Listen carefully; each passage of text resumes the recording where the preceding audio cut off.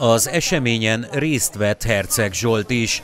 Fontos, hogy gasztronómiai hagyományainkat a fiatalabb nemzedék is megismerje, tovább vigye. Ezért is öröm számomra, hogy az idősebb generáció mellett egyre több fiatal méretteti meg magát a versenyen, írta az országgyűlési képviselő bejegyzésében.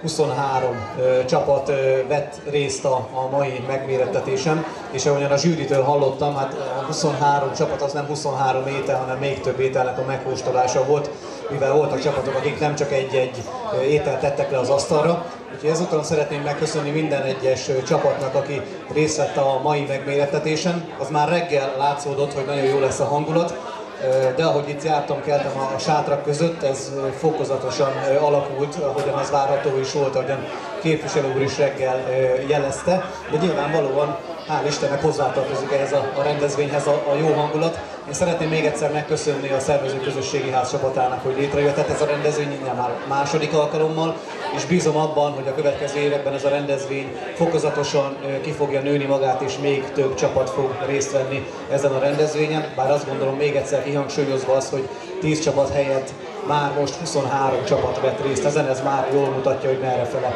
fog a későbbiekben menni ez a, ez a rendezvény, hál' Istennek. Úgyhogy köszönjük szépen még egyszer a csapatoknak, a résztvevőknek, akik részt vettek ebben.